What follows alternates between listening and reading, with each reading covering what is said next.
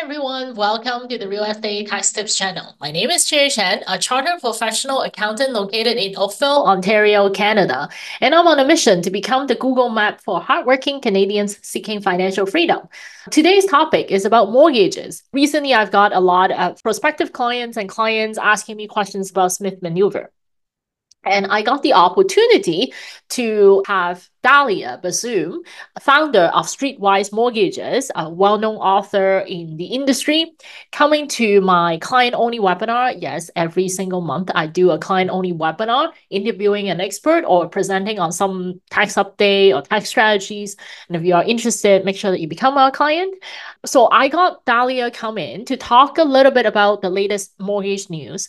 Just yesterday, the government just announced that you do not need to requalify and pass your stress test if you are renewing your mortgages, moving the mortgages from one bank to another bank. So the stress test is eliminated. It is helpful and great for investors who are looking to move from one bank to another. It will create motivation for the existing banks to uh, lower their rate, be more competitive. So then investors can switch from one side to another. But then before we even get to that, uh, there were some changes that happened not too long ago about your HELOC, your HELOC, your home equity line of credit changes. And I was so fortunate that Dalia was able to share that in depth in our uh, only webinar. She allows me to share that on my YouTube channel as well, because I think that it would be something that's very useful for the rest of us. But before I get to Dalia, make sure you give us a thumbs up if you like our video and share the content with your friends and families who may find this video useful. Now, with that, let's dive into our client-only webinar. Let's hear directly from Dalia, this home equity line of credit and the changes about the home equity line of credit. And what I want to do is talk about how advanceable mortgages work. So for those who are using them, it's going to be a refresher. For those who haven't heard of them, it's going to be a new learning and also where to find them because some some clients don't know about all of the options available there with respect to that product. So let's start with the refresher, okay? And essentially, with an advanceable mortgage, you are getting a mortgage with a secured line of credit attached to it, a HELOC or a home equity line. These are all the same words. And between the mortgage and the line of credit, the maximum uh, loan amount you can get is 80% of the value of the home. That's number one. So you can take that mortgage and have multiple mortgages, and you can have multiple line of credits, but it's essentially mortgages connected to one or more lines of credits, and together they're 80% of the value. The other thing too is that the line of credit component cannot exceed 65% of the value. And this 80%, okay, this 80% that we're talking about is essentially called the global limit. So it's a it's kind of a technical term, but it's called the global limit. So that's that's what it, what it is from a high level standpoint. And here are the logistics or the dynamics of this product and why it's very popular. You make a mortgage payment every month.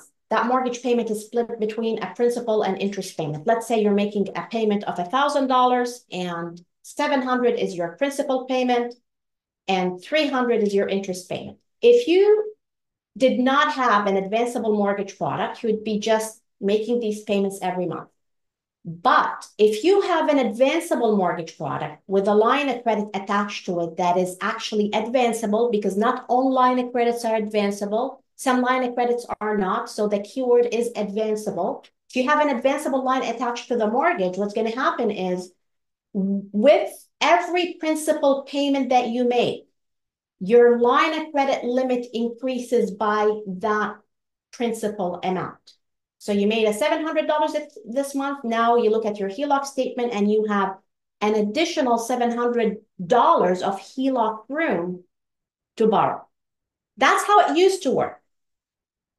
Up until 2023, November 2023, which we're going to talk about shortly, because the regulators came uh, on board with a modification that has some impact on how this product works.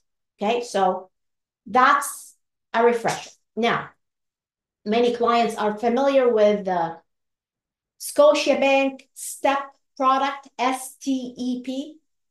That's an advanceable mortgage product. Very famous with Scotiabank. Um, but that product is available with many other institutions. So BMO has one called the BMO Ready Access Line. CIBC has one called the CIBC Home Power Plan. RBC has one called the RBC Home Equity Line. National Banks is called the National Bank All-in-One, and Manulife has a product called Manulife One. Not all banks offer this product on rental properties. So the big, big, the, the, the Scotiabank, oh, and TD, I'm missing TD here. TD also has it. TD has uh, a TD Home Equity Line. It's also advanceable. I should have added the green label here. I was thinking, what, I thought there were like, there was one more, and it, here, here it is. It's TD. So National Bank only offers it on owner-occupied properties. The big banks, Scotia, BMO, CIBC, RBC, and uh, TD, they offer it on rentals as well, and Manulife also uh, offers it. Here's what happened November 2023. OSFI, which is the regulator of the financial institutions, um, had a concern about the level of debt Canadians are carrying. And they were concerned about this cool feature that this product offers, which is the ability to recycle your money, because as I mentioned, you pay down the mortgage principal, it doesn't disappear, it comes back to you on the line of credit. So it's like a circle. So OSFI said, you know what, enough of that. Enough of that. We're concerned about the Canadian debt. I'm sure this is not a surprise to anyone here in Canada. We're a very conservative country. I, I, I, I can argue over this decision, but here we are. They wanted to limit this ability to recycle debt. So November 1st, 2023, a new rule kicked in. And for those who have the Scotia product, they would have received a letter similar to this. If you were in an advanceable mortgage product with another institution, you may have received a similar letter. And clients who opened up their advanceable mortgage products before September 20, 2012, I believe, were not impacted, but those who opened it up after were impacted. So here is what this new rule essentially says. I'm not going to read this entire big letter because to be honest with you, I read this 20 times, more than 20 times, and I didn't get it. I didn't understand what they're talking about. I didn't understand exactly what's what is the implication, but here is what it is in a nutshell. What they are saying is effective November 2023, all principal payments to any mortgage portion that is attached to a line of credit portion, okay, combined above 65% of the value must be used to bring down that 80% global limit over time to 65. I know this means this is probably now doesn't explain it any simpler. So what I want to do is I want to show you in a diagram what this means. Let's say you have a house for a million dollar and you at some point set up an advanceable mortgage product with a bank or a lender at 80% of the value. We said the maximum is 80%, right? Between the mortgage components and the line of credit components. So you have an 80% limit. And that 80% limit is made of multiple mortgages and, a, and one line of credit in this example. You could, you, could, you could have had one mortgage, one line of credit, or multiple mortgages and multiple line of credits, because that's the thing. It's like a pizza. They, you, can, you can slice it. That's why the our accountants love this, because you can track what portion you use for a down payment, or you can use one portion for one property, another portion for another property. It's very clean. So let's say this is this is the setup. So mortgage component one is about 15% of the total value. 150,000 is 15% of a million dollars. Mortgage component number two is 250. That's 25%. The HELOC is 400,000. So before November 2023, if you were making a payment on these mortgages, right, your principal pay down would increase this line of credit up to until the line of credit gets to 65% because the line of credit cannot be more than 65. Under the new rule, here's what happens. Let's say you're making a payment on mortgage component number one, like you're paying your mortgage, right? Old rule, the line increases. New rule, what happens under the new rule? Does anyone know? so actually, let me start with mortgage component number two because that comment will apply. Mortgage component number two, if you take the 25% and add it to the 40%, that is 65, right? So that mortgage component that is attached to the line is at 65% already, right? So what they're saying is anything that gets paid down now, because it's already at 65, you're not going to get it back. What it's going to do is it's going to just work overtime to reduce the limit available to you from 80 to 60, over 65, over 25 years. Every lender is different. But on this component here, if you add the 15% and the 40%, that's what? 55%, right? We're below the 65% rule that they have. So if you're making payments on this component, that would increase the line. So it's not a rule that limits your ability completely, but it just limits the ability on certain mortgage LOC components depending on whether they are within that 65% box. That's that's basic, basically what they've done. It used it, what what they've done. It used to be you pay it, you get it, you pay it, you get it. Now you pay it, but depending on which mortgage component is attached to the line and what is that limit, global limit is, if it's below 65, you get it. If it's at 65, you wouldn't get it. They're going to take that dollar and they're going to over time reduce the 80% available to you. That's what they're doing. I'm going to take questions towards the end. So if you have a question about this, leave it till the end so we don't disrupt the flow of the conversation. But does this does this make this product less attractive? In a way, but does it still come with many benefits? Absolutely. What are the benefits? Like I said, ability to dissect. If we strategically divide up the mortgage and line of credit components in a way that we stay within this 65 limit box, you can still advance in certain cases, but not on all components. So we can restructure it in a way to give you, to maneuver within these rules. I always believe the rules are created to be broken, okay? That's, these are the rules. So create a rule, we'll find a way around the rule. In a, in a legal way, okay? Not talking about anything, you know, crazy here. In a legal way, it's just creativity during the readvanceable slide, um, that 80% global limit being shrunk down to 65% global limit. If you pay down the yes. wrong HELOC or whatever, can you just elaborate on that? The bank will not request that you pay down, will not force you to pay down the HELOC to 65%.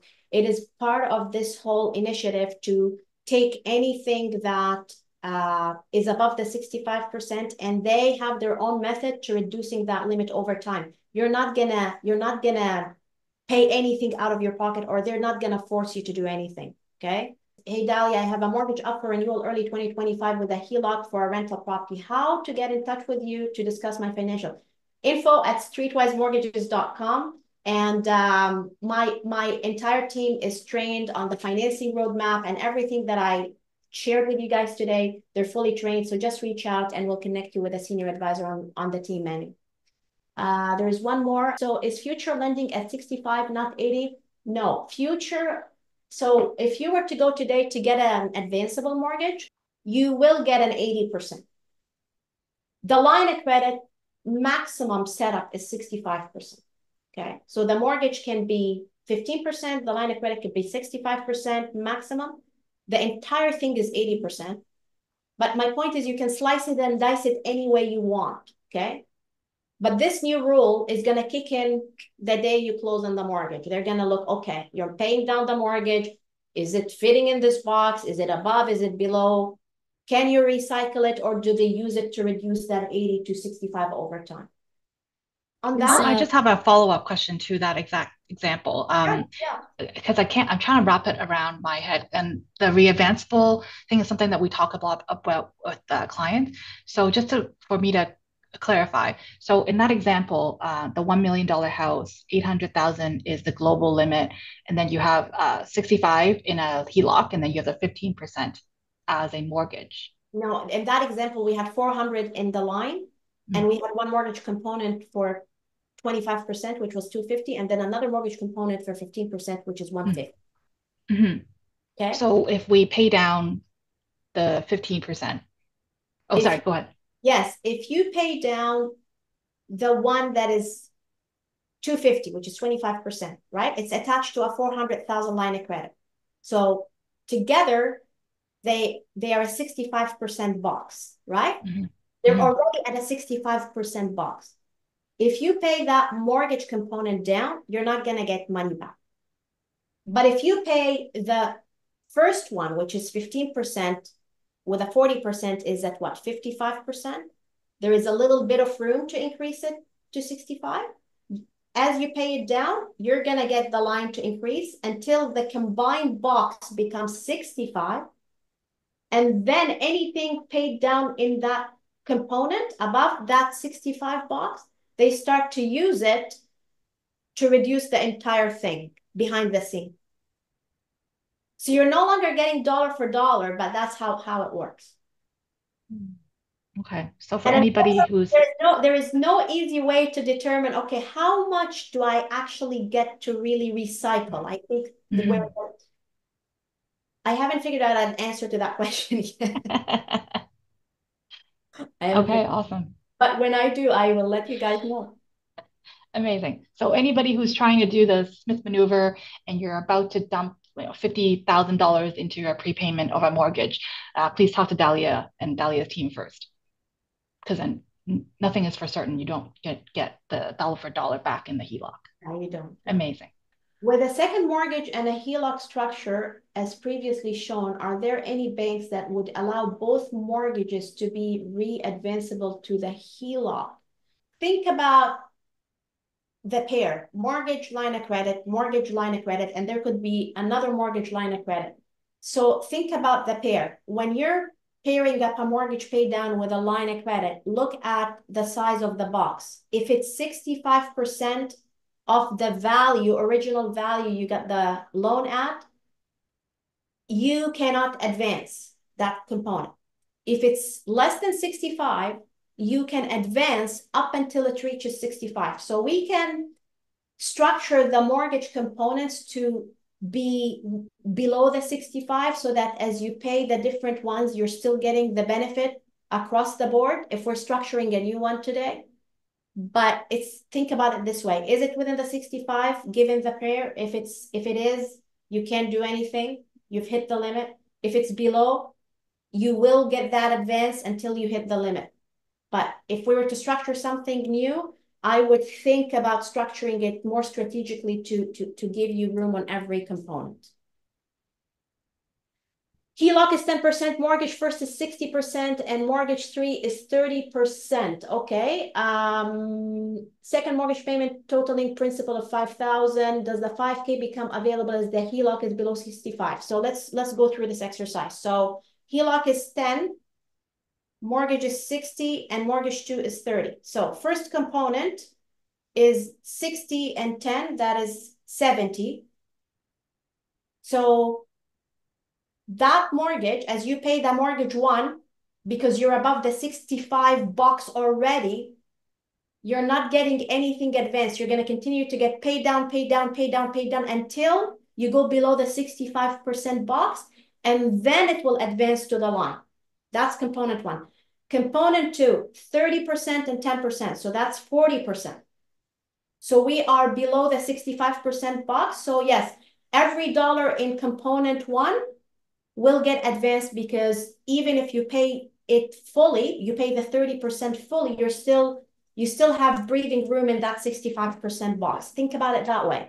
And uh, with that, guys, I would like to uh, thank you very much for the opportunity to be of uh, service to you today. Um, if you have any questions about financing or if you want to develop your financing roadmap, whether you're looking to invest in the US and looking for US financing or scale up a Canadian portfolio, or you're into multifamily investing, conventional, CMHC, MLI, or even looking for a stepping stone using private money, we are here to support you and help you achieve your goals. Myself and my team uh, don't take anything for granted, and uh, we'd love the privilege to uh, work with you. You can email us at info at streetwisemortgages.com, and you can also follow me on Instagram at streetwise underscore investor. That's where you can connect best with me through DMs and where I post, uh, post a lot of content. Thank you very much.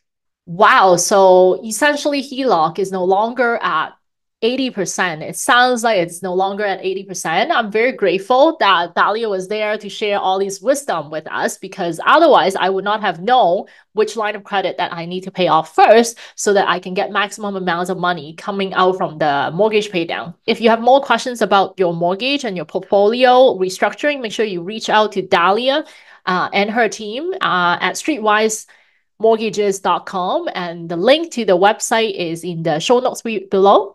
Um, until next time, if you find our video useful, make sure you share that with your friends and family. Give us a thumbs up. And if you have questions, leave it in the message below.